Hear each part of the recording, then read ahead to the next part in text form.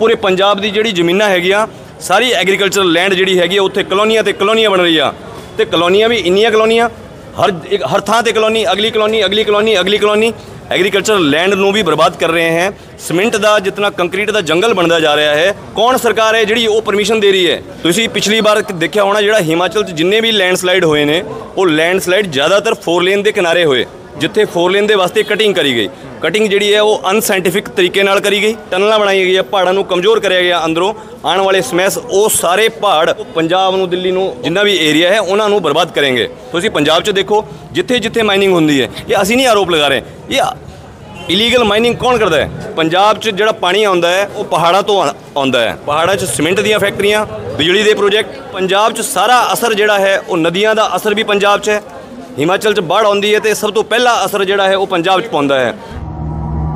ਮੇਰੇ ਨਾਲ ਇਸ ਵਕਤ ਰਜਨੀਸ਼ ਸ਼ਰਮਾ ਜੀ ਮੌਜੂਦ ਨੇ। ਤੁਸੀਂ ਹਿਮਾਚਲ ਤੋਂ ਸਰ ਕਿਸ ਤਰੀਕੇ ਨਾਲ ਮੈਨੂੰ ਥੋੜਾ ਰੂਪ ਰੇਖਾ ਦੱਸੋ? ਤੁਹਾਡੀ ਜੈਸੇ ਵੀ ਕੰਫਰਟੇਬਲ ਆਪ ਹਿੰਦੀ ਮੈਂ ਬਤਾ ਸਕਦੇ ਹਾਂ ਪੰਜਾਬੀ ਜੈਸੇ ਮਰਜ਼ੀ। ਮੈਂ ਪੰਜਾਬੀ ਵੀ ਬੋਲ ਸਕਦਾ ਕਿਉਂਕਿ ਮੈਂ ਮੇਰੀ ਜਿਹੜੀ ਐਲਐਲਬੀ ਹੈ ਉਹ ਪੰਜਾਬ ਦੀ ਹੈ ਫਤਿਹਗੜ੍ਹ ਸਾਹਿਬ ਦੀ ਹੈ। ਸ਼ਹੀਦਾਂ ਦੀ ਵੀਰਾਂ ਦੀ ਜਿਹੜੀ ਧਰਤੀ ਹੈ ਫਤਿਹਗੜ੍ਹ ਸਾਹਿਬ ਤੋਂ ਉੱਥੋਂ ਮੈਨੂੰ ਪੜਨ ਦਾ ਮੌਕਾ ਮਿਲਿਆ ਹੈ।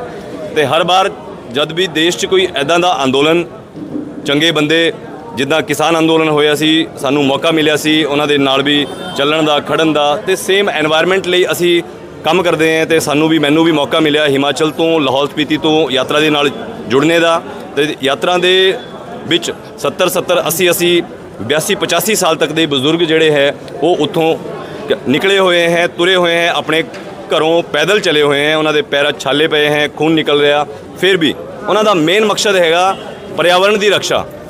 ਸ਼ੁੱਧ ਪਾਣੀ, ਸ਼ੁੱਧ ਹਵਾ ਨੂੰ ਬਚਾਉਣ ਵਾਸਤੇ, ਪਹਾੜਾਂ ਨੂੰ ਬਚਾਉਣ ਵਾਸਤੇ।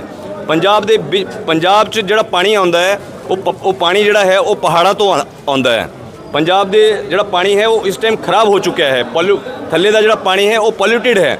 ਤੇ ਅਸਲੀ ਪਾਣੀ ਜਿਹੜਾ ਪੀਣ ਵਾਲਾ ਸ਼ੁੱਧ ਪਾਣੀ ਹੈ, ਉਹ ਸ਼ੁੱਧ ਪਾਣੀ ਪਹਾੜਾਂ ਤੋਂ ਆਉਣਾ। ਜੇ ਪਹਾੜ ਤੋਂ ਵੀ ਤਾਂ ਹੀ ਆਉਣਾ ਹੈ, ਜੇ ਕੋਈ ਪਹਾੜ ਜਿਹੜੇ ਉਹਨਾਂ ਨੂੰ ਬਚਾਇਆ ਜਾਏ। ਪਹਾੜਾਂ 'ਚ ਸੀਮੈਂਟ ਦੀਆਂ ਫੈਕਟਰੀਆਂ, ਪਹਾੜਾਂ 'ਚ ਬਿਜਲੀ ਦੇ ਪ੍ਰੋਜੈਕਟ ਪਹਾੜਾਂ 'ਚ ਜਿੰਨੇ ਵੀ ਵਿਕਾਸ ਦੇ ਡਿਵੈਲਪਮੈਂਟ ਦੇ ਫੋਰ ਲੇਨ ਦੇ ਨਾਂ ਤੇ ਪਿੱਛੇ ਜਿਹੜਾ ਬਣਾਇਆ ਜਾ ਰਿਹਾ ਹੈ, ਉਹਦੇ ਵਾਸਤੇ ਪੇੜਾਂ ਦੀ ਕਟਿੰਗ ਪਹਾੜਾਂ ਦੀ ਕਟਿੰਗ ਤੇ ਉਹ ਬਹੁਤ ਖਤਰਨਾਕ ਆਉਣ ਵਾਲਾ ਸਮੇਂ ਜਿਹੜਾ ਹੈ ਉਹ ਆਉਣ ਵਾਲਾ ਹੈ।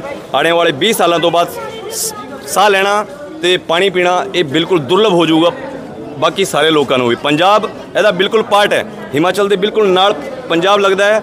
ਸਾਰੀ ਜਿਹੜੀ ਪੰਜਾਬ ਹਿਮਾਚਲ ਤੋਂ ਨਦੀਆਂ ਆਉਂਦੀਆਂ ਬਿਜਲੀ ਪ੍ਰੋਜੈਕਟਾਂ ਦਾ ਪਾਣੀ ਜਿਹੜਾ ਰੋਕਾ ਗਿਆ ਹੈ, ਉਹ ਸਾਰੀ ਨਦੀਆਂ ਪੰਜਾਬ ਤੋਂ ਡਾਇਵਰਟ ਹੁੰਦੀਆਂ ਹੈ। ਤੋ ਸਭ ਤੋਂ ਵੱਡੀ ਮੇਨ ਗੱਲ ਹੈ ਕਿ ਪੰਜਾਬ 'ਚ ਸਾਰਾ ਅਸਰ ਜਿਹੜਾ ਹੈ ਉਹ ਨਦੀਆਂ ਦਾ ਅਸਰ ਵੀ ਪੰਜਾਬ 'ਚ ਹੈ। ਹਿਮਾਚਲ 'ਚ ਬਾੜ ਆਉਂਦੀ ਹੈ ਤੇ ਸਭ ਤੋਂ ਪਹਿਲਾ ਅਸਰ ਜਿਹੜਾ ਹੈ ਉਹ ਪੰਜਾਬ 'ਚ ਪਾਉਂਦਾ ਹੈ। ਉਹ ਦਿੱਲੀ ਤੱਕ ਜਾ ਕੇ ਅਸਰ ਪਾਉਣਾ ਹੈ। ਆਉਣ ਵਾਲੇ ਸਮੇਂ 'ਚ ਐਦਾਂ ਦਾ ਹਾਲਾਤ ਜਿਹੜੇ ਹੈ, ਉਹ ਪਰਿਆਵਰਣ ਸੰਤੁਲਨ ਜਿਹੜਾ ਹੈ ਉਹ ਸਾਡਾ ਵਿਗੜ ਗਿਆ ਹੈ। ਉਹਦੇ ਵਾਸਤੇ ਕੇਂਦਰ ਸਰਕਾਰਾਂ ਤੇ ਸਾਰੀਆਂ ਰਾਜ ਸਰਕਾਰਾਂ ਜ਼ਿੰਮੇਦਾਰ ਹੈ ਮਿਲ ਕੇ। ਤੁਸੀਂ ਪਿਛਲੀ ਵਾਰ ਦੇਖਿਆ ਹੋਣਾ ਜਿਹੜਾ ਹਿਮਾਚਲ 'ਚ ਜਿੰਨੇ ਵੀ ਲੈਂਡਸਲਾਈਡ ਹੋਏ ਨੇ, ਉਹ ਲੈਂਡਸਲਾਈਡ ਜ਼ਿਆਦਾਤਰ ਫੋਰ ਲੇਨ ਦੇ ਕਿਨਾਰੇ ਹੋਏ, ਜਿੱਥੇ ਫੋਰ ਲੇਨ ਦੇ ਵਾਸਤੇ ਕਟਿੰਗ ਕਰੀ ਗਈ। ਕਟਿੰਗ ਜਿਹੜੀ ਹੈ ਉਹ ਅਨਸਾਇੰਟਿਫਿਕ ਤਰੀਕੇ ਨਾਲ ਕਰੀ ਗਈ। ਉਹਨੂੰ ਕਟਿੰਗ ਨੂੰ ਕਰਨ ਵਾਸਤੇ ਜਿੰਨੀ ਵੀ ਤਕਨੀਕ ਦਾ ਇਸਤੇਮਾਲ ਕਰਨਾ ਸੀ, ਟਨਲਾਂ ਬਣਾਈ ਗਈਆਂ, ਪਹਾੜਾਂ ਨੂੰ ਕਮਜ਼ੋਰ ਕਰਿਆ ਗਿਆ ਅੰਦਰੋਂ। ਆਉਣ ਵਾਲੇ ਸਮੈਸ ਉਹ ਸਾਰੇ ਪਹਾੜ ਜਿਹੜੇ ਕੱਟ ਕੇ ਆਉਣੇ ਹੈ, ਉਹ ਪੰਜਾਬ ਨੂੰ, ਦਿੱਲੀ ਨੂੰ ਔਰ ਅੱਗੇ ਵਾਲਾ ਜਿਹੜਾ ਜਿੰਨਾ ਵੀ ਏਰੀਆ ਹੈ, ਉਹਨਾਂ ਨੂੰ ਬਰਬਾਦ ਕਰਨਗੇ। ਤੇ ਇਹ ਸਾਡਾ ਪਹਾੜਾਂ ਦੀ ਹੀ ਗੱਲ ਨਹੀਂ ਹੈ। ਗੁਰੂ ਨਾਨਕ ਦੇਵ ਜੀ ਜਿਹੜੇ ਪੰਜਾਬੀਅਤ ਦੇ ਲੋਕ ਹੈ, ਤੁਸੀਂ, ਤੁਹਾਨੂੰ ਪਤਾ ਹੈ ਕਿ ਲੇਹ ਲਦਾਖ ਜਿਹੜਾ ਹੈਗਾ, ਉਹ ਕਿਤਨੀ ਉੱਥੇ ਗਲੇਸ਼ੀਅਰ ਨੇ। ਉਹ ਗਲੇਸ਼ੀਅਰ ਨੇ ਗਲੋਬਲ ਵਾਰਮਿੰਗ ਜਿਹੜਾ ਹੋ ਰਿਹਾ ਹੈ, ਉਹਨੂੰ ਰੋਕਣ ਵਾਸਤੇ ਕੇਂਦਰ ਸਰਕਾਰ ਤੇ ਰਾਜ ਸਰਕਾਰਾਂ ਦੇ, ਸਾਰੇ ਪ੍ਰਦੇਸ਼ਾਂ ਦੀ ਸਰਕਾਰਾਂ ਦੇ ਕੋਈ ਨਿਯਮ ਬਣਾਏ ਹੈ। ਸਾਰਾ ਪ੍ਰਾਕ੍ਰਿਤਿਕ ਜਿਹੜੇ ਸੰਸਾਧਨ ਹੈ ਇਲੀਗਲ ਮਾਈਨਿੰਗ ਹੈ, ਸਾਰੀ ਸਰਕਾਰਾਂ ਦੇ ਨੇਤੇ ਕਰਦੇ ਹੈ, ਉਹਨਾਂ ਦੇ ਠੇਕੇਦਾਰ ਕਰਦੇ ਹੈ। ਉਹ ਪਰਿਆਵਰਣ ਨੂੰ ਦਿਨ ਰਾਤ ਲੁੱਟ ਰਹੇ ਨੇ, ਲੋਕੀ ਘਰੇ ਆਰਾਮ ਨਾਲ ਕ- ਸੌਂਦੇ ਹੈ ਤੇ ਦੋ ਦਿਨ ਰਾਤ 24 ਘੰਟੇ ਦੋ ਨੰਬਰ ਦਾ ਕੰਮ, ਅਵੈਧ ਕੰਮ ਸਰਕਾਰਾਂ ਹੀ ਕਰਾਉਂਦੀਆਂ ਹੈ। ਹਰ ਜਗ੍ਹਾ ਬਹੁਤ ਹੀ ਗੰਦੀ ਬਦਬੂ ਹੈਗੀ। ਜਿੱਥੇ ਨਾਲਾਗੜ੍ਹ ਤੋਂ ਹੋ ਕੇ ਅਸੀਂ ਆਏ, ਉੱਥੇ ਫੈਕਟਰੀਆਂ, ਇੰਡਸਟਰੀਆਂ ਤੇ ਸਾਹ ਲੈਣਾ ਮੁਸ਼ਕਿਲ ਹੈ। ਗੱਡੀਆਂ ਦੇ ਸ਼ੀਸ਼ੇ ਥੱਲੇ ਨਹੀਂ ਕਰ ਸਕਦੇ। ਤੁਸੀਂ ਦੇਖੋ ਪੂਰੇ ਪੰਜਾਬ ਦੀ ਜਿਹੜੀ ਜ਼ਮੀਨਾਂ ਹੈਗੀਆਂ, ਸਾਰੀ ਐਗਰੀਕਲਚਰਲ ਲੈਂਡ ਜਿਹੜੀ ਹੈਗੀ ਹੈ ਉੱਥੇ ਕਲੋਨੀਆਂ ਤੇ ਕਲੋਨੀਆਂ ਬਣ ਰਹੀ ਆ। ਕੌਣ ਸਰਕਾਰ ਹੈ ਜਿਹੜੀ ਉਹ ਪਰਮਿਸ਼ਨ ਦੇ ਰਹੀ ਹੈ? ਕਿਉਂਕਿ ਐਗਰੀਕਲਚਰਲ ਲੈਂਡ ਦਾ ਜਿਹੜਾ ਮੋਡ ਹੈ, ਉਹ ਚੇਂਜ ਹੀ ਨਹੀਂ ਹੋ ਸਕਦਾ। ਐਗਰੀਕਲਚਰ ਲੈਂਡ ਤੇ ਸਿਰਫ ਐਗਰੀਕਲਚਰ ਹੋ ਸਕਦੀ ਹੈ, ਕਲੋਨੀਆਂ ਨਹੀਂ ਬਣ ਸਕਦੀਆਂ। ਤੇ ਕਲੋਨੀਆਂ ਵੀ ਇੰਨੀਆਂ ਕਲੋਨੀਆਂ, ਹਰ ਹਰ ਥਾਂ ਤੇ ਕਲੋਨੀ, ਅਗਲੀ ਕਲੋਨੀ ਅਗਲੀ ਕਲੋਨੀ ਅਗਲੀ ਕਲੋਨੀ।